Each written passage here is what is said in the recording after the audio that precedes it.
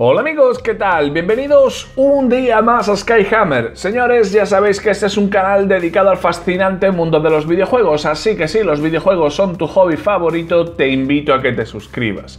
Señores, en este vídeo vamos a tratar varios temas, varias noticias que han salido hoy. Normalmente ya sabéis que me gusta hacer un vídeo por noticia para poder extraerle todo el jugo, poder analizarlo al máximo y dar mi opinión eh, mi opinión tan fundamentada como sea posible, pero eh, debido a que han pasado bastantes cosas hoy, vamos a unificar ciertas noticias y vamos a hablar de varias en este vídeo. Vamos a hablar sobre nueva información sobre Resident Evil 4. Esta información podrían ser rumores y no está 100% confirmada, pero mm, suena bastante interesante. Yo creo que, que, no hay que ser un lince para darse cuenta que esto eh, puede tener parte de razón. Segundo, vamos a hablar sobre la llegada de GTA V a PlayStation 5 y Xbox Series, que ya se ha confirmado el día que va a llegar y alguna otra información. Y luego también vamos a hablar sobre la polémica de la exclusividad de Ratchet Clank Rift Apart, una dimensión aparte, que si ahora ha cambiado la exclusividad, que si es exclusivo, que si no, saldrá en PC, qué ha pasado, porque el tráiler último ha cambiado el texto de la exclusividad. Y por último vamos a hablar sobre las entradas y salidas de Xbox Game Pass de, esta segunda parte de mayo. Así que señores, sin más dilación, ¡comenzamos!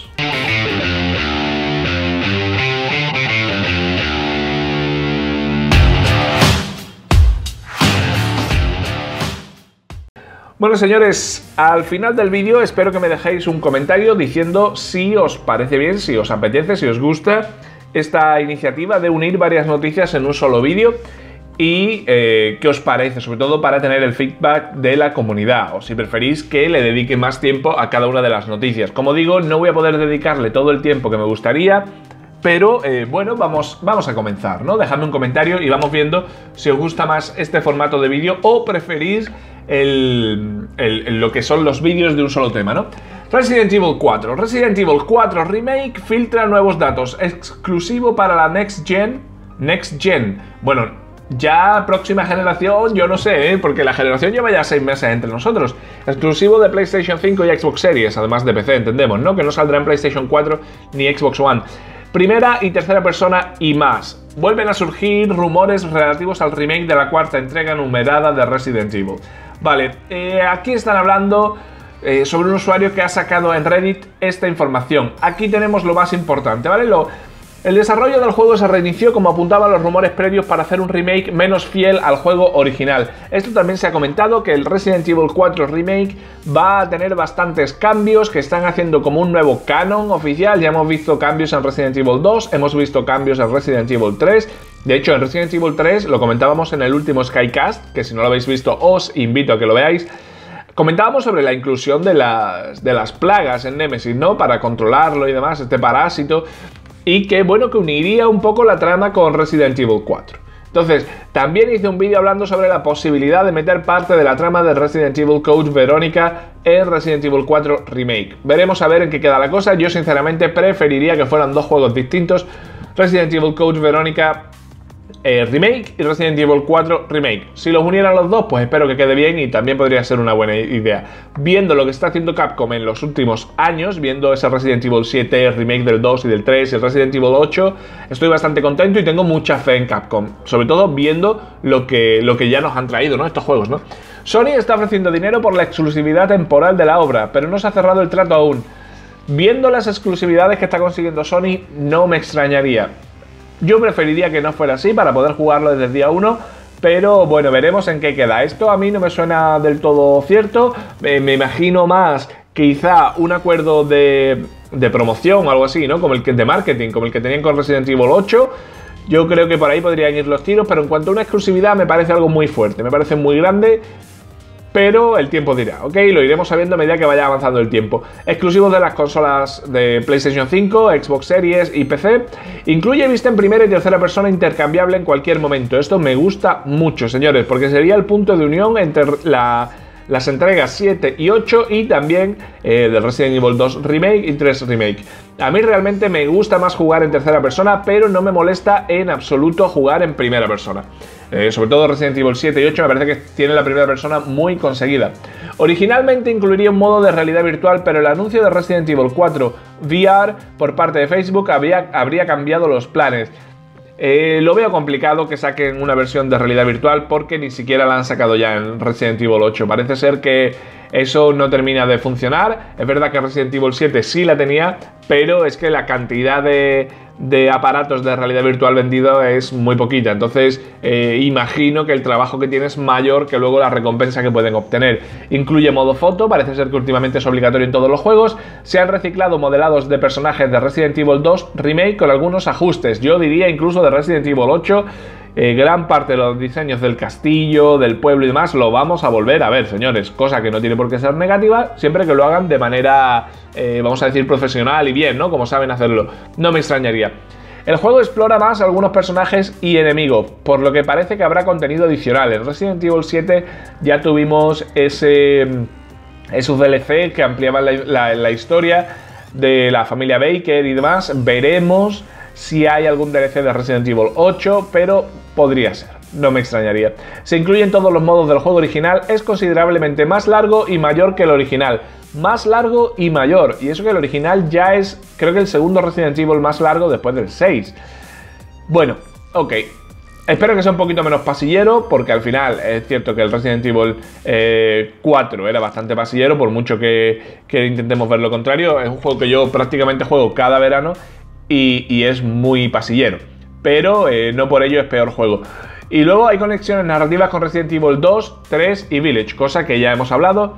Y hay una escena post créditos que relaciona el juego con la serie Infinite Darkness debido a un contrato con Netflix.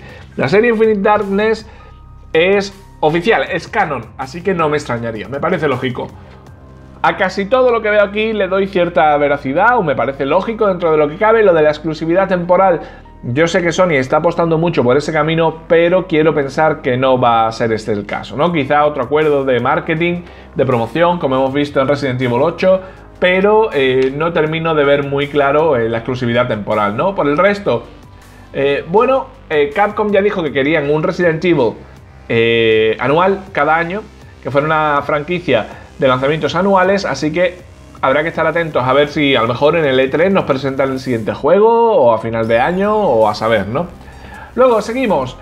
GTA V, decidme lo que opináis sobre Resident Evil 4, cómo os gustaría verlo, me lo ponéis abajo. Y seguimos, GTA V llegará mejorado y ampliado a PlayStation 5 y Xbox Series el 11 de noviembre. La versión Next Gen de Grand Theft Auto 5 se estrenará en PlayStation 5 y Xbox Series el 11 de noviembre. Además, Rockstar anticipa sorpresas divertidas para el aniversario de GTA 3.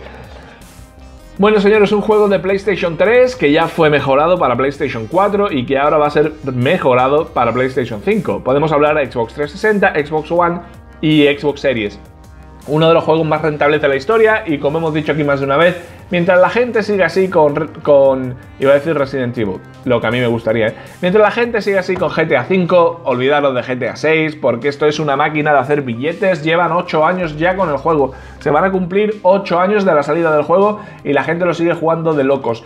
Yo espero, eh, según hemos visto en esta información, no se sabe si va a ser una mejora gratuita para los que ya compramos el título anteriormente, ¿no? No se sabe si esta mejora va a ser gratuita, ojalá lo sea, porque hombre, sería un poquito lamentable tener que volver a pagar el juego, porque a mí me interesaría jugar a los 60 FPS en mi Xbox Series. No puedo, el juego está capado a 30. Y me parece un poquito eh, lamentable tener que seguir jugando a 30 FPS en una Xbox Series o en una PlayStation 5. Señores, vamos a desbloquear los FPS, a ver si podemos jugarlo eh, como Dios manda, jugarlo en condiciones a 60 FPS o incluso más, ¿no? Hay que tener en cuenta que no deja de ser un juego de generaciones anteriores. También se va a lanzar GTA Online de manera independiente, igual que eh, Red Dead Redemption Red Dead Online, ¿no? Que se ha lanzado como un modo independiente, se van a vender de manera independiente. Hay gente que solamente está interesada en la, en la vertiente eh, online. Hay gente que solamente está interesada en la historia. A mí lo que más me interesa es la historia. La vertiente online me da igual, sinceramente. Eh, a mí me gustaría, si lo sacan de manera independiente, que los logros y los trofeos sean distintos. De manera que pueda conseguir el 100% de los logros en Xbox o el trofeo de platino sin necesidad de entrar al, online, que lo he intentado varias veces, sobre todo en PlayStation 4, y nunca me ha terminado de convencer. Entiendo que hay mucha gente a la que le encanta, pero eh, a mí personalmente no me gusta demasiado. Además, en PlayStation 5, señores, vamos a tener GTA Online durante tres meses de manera gratuita. A partir del 11 de noviembre y hasta el 11 de febrero se podrá jugar a este modo GTA Online de manera totalmente gratuito, sin necesidad, gratuita sin necesidad de comprar el juego. Será a partir del 12 de febrero cuando, si queréis seguir jugando, tendréis que comprar el juego. También se ha anunciado que eh, GTA V recibirá nuevo contenido próximamente como parte de su actualización veraniega que incluirá ventajas especiales que los jugadores podrán aprovechar en estas versiones mejoradas y ampliadas cuando se publiquen. También habla de que hay muchas sorpresas divertidas por el 20 aniversario de GTA 3 y bueno, algunas cositas más, ¿no? Que tienen muchas cosas que contar que quizá lo hagan durante el E3.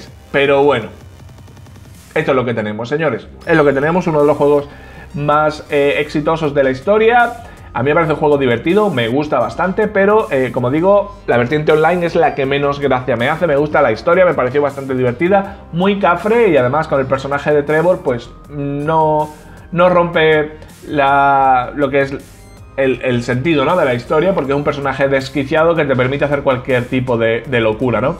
Luego continuamos. Ratchet Clank. Ratchet Clank, señores.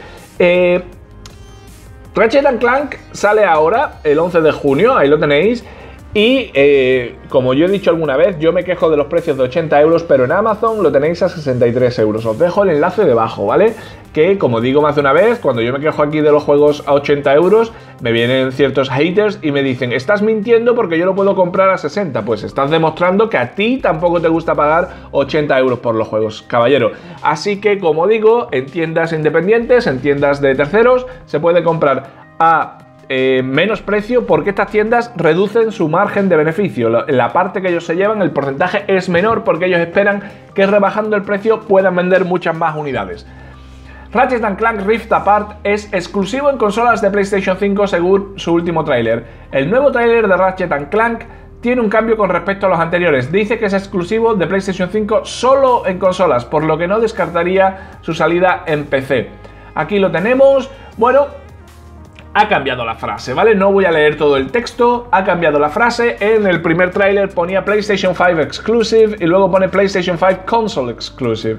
Exclusivo de consola PlayStation 5. ¿Ok?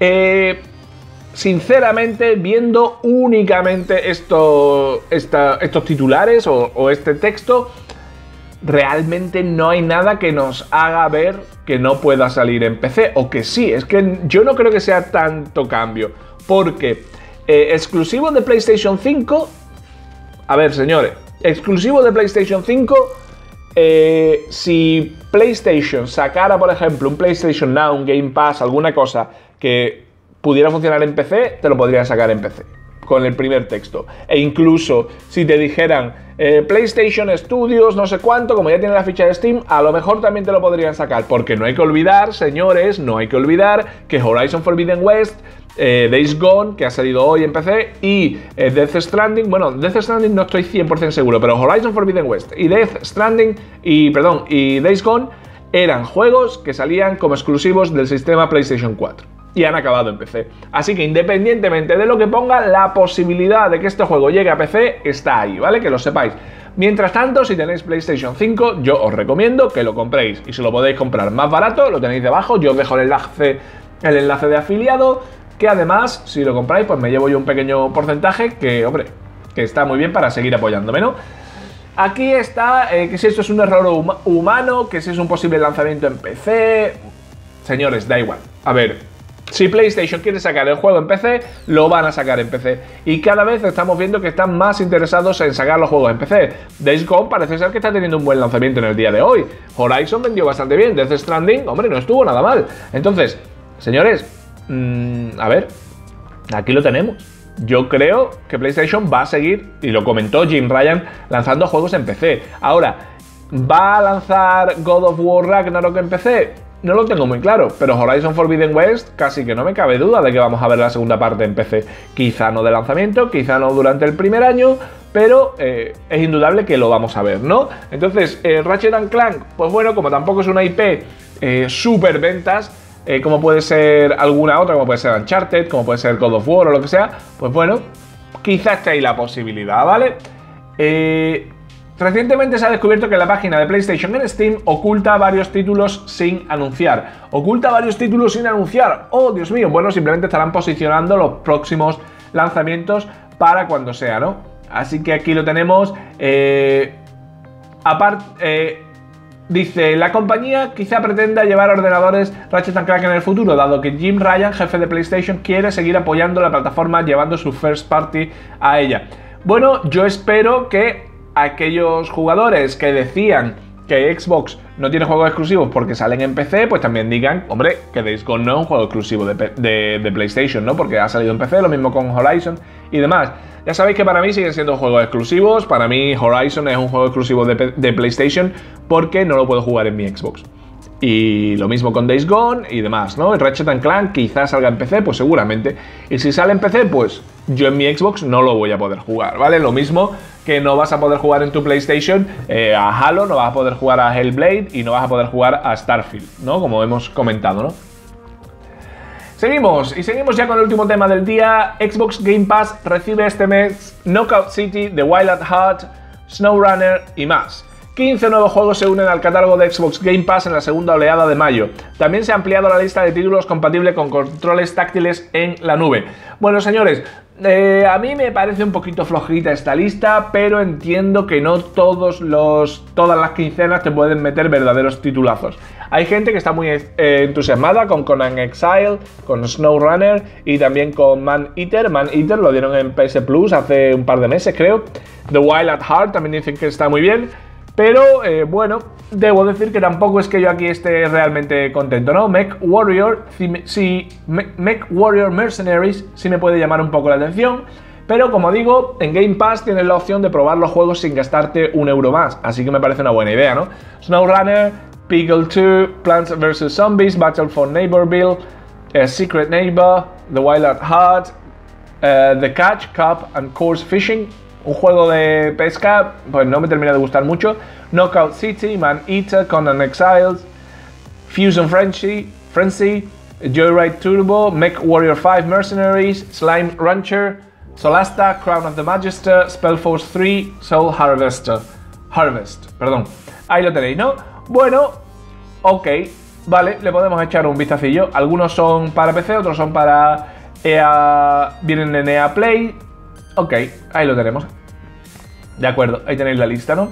Luego, estos juegos tienen a partir de hoy también eh, controles táctiles, Call of the Sea, Nier Automata, Banjo Kazooie, Narita Boy, Two Point Hospital, Genesis Noah y Rain on Your Parade. Todos estos juegos los puedes jugar ya en tu móvil, en tu tablet con controles táctiles, sin necesidad de tener un controlador, un mando. Y los juegos que abandonan el servicio, como bien sabéis que todos los meses hay algunos juegos que abandonan el servicio, tenemos Assetto Corsa, Broforce, solamente en PC, Kingdom Hearts, eh, los, dos recopilatorios, ¿no? De que contaban todos los juegos hasta el, hasta el Kingdom Hearts 3, Surviving Mars y Void Bastards. Hombre, un poquito de pena que abandone Kingdom Hearts el servicio, pero os invito a dos cosas. La primera, si compráis los juegos, los tenéis un 20% de descuento simplemente por estar en Xbox Game Pass. Y segundo, tenéis todavía 15 días prácticamente, bueno, un poco menos, ¿no? Pero 14, 13 días para exprimirlos a tope. Así que todavía tenéis tiempo para acabar, acabaros los juegos. Lo que pasa es que Kingdom Hearts, los recopilatorios son muchos juegos, creo que son, no sé, uno tiene 7 juegos y el otro 5 o algo así, no lo sé, ¿vale? Se los compré a mi mujer para PlayStation 4, pero yo no soy de jugar a Kingdom Hearts. Eh, sobre todo porque la historia dejé de entenderla hace ya tiempo, entonces pues, pues ahí lo tenéis, ¿no? Así que bueno, señores, he intentado traer varias noticias porque no pude traer vídeo en la tarde lamentablemente. Quizá hubiera traído alguno, quizá el de Resident Evil habría sido más largo, pero bueno, como digo, señores, os invito a que me deis vuestra opinión, si os parece interesante que ponga las noticias así. Si os parece interesante que ponga las noticias, como digo, aquí hacemos varias a la vez, o si preferís, si preferís que haga un vídeo más largo, profundizando más y dando más mi opinión sobre cada una de, de, estas noticias. Lo que quiero saber ahora por parte de vosotros, quiero que me echéis una manita y me contéis ¿Qué pensáis de Resident Evil 4? ¿Qué pensáis sobre este GTA V que vuelve a salir otra vez? Que no sabemos si va a tener actualización gratuita o si va a haber que pasar otra vez por caja, señores. Sería una vergüenza tener que pasar otra vez por caja para los que hayamos comprado el juego. Eh, y esto, señores, no es de Sony ni es de Xbox, esto es de Rockstar, ¿vale? Que a Rockstar le gusta más un billete que un tonto un lápiz, ¿vale? Eh, luego, ¿qué opináis sobre Ratchet Clank? ¿Pensáis que al cambiar esas palabras, en vez de PlayStation 5 Exclusive, PlayStation 5 Console Exclusive, ¿Creéis que va a cambiar algo el tema de la exclusividad? Lo veremos en PC, dejadme vuestra opinión también. Y el Game Pass, ¿qué os parecen estas entradas y estas salidas? Señores, me quedo leyendo vuestros comentarios, os invito a que le deis un me gusta al vídeo, que ayuda mucho a posicionar el canal en YouTube, le podéis dar a la campanita y así os avisa cada vez que publicamos nuevos vídeos Podéis suscribiros si es la primera vez que llegáis y además, si me queréis apoyar un poquito más, tenéis la, ventanita abajo de hacerse miembro que me estaréis apoyando mucho más para seguir aquí día tras día. Señores, muchísimas gracias, tenemos una comunidad impresionante, me quito el sombrero con todos vosotros, muchísimas gracias por pasar un ratito charlando conmigo y nos vemos en el siguiente vídeo. ¡Hasta luego! ¡Bye!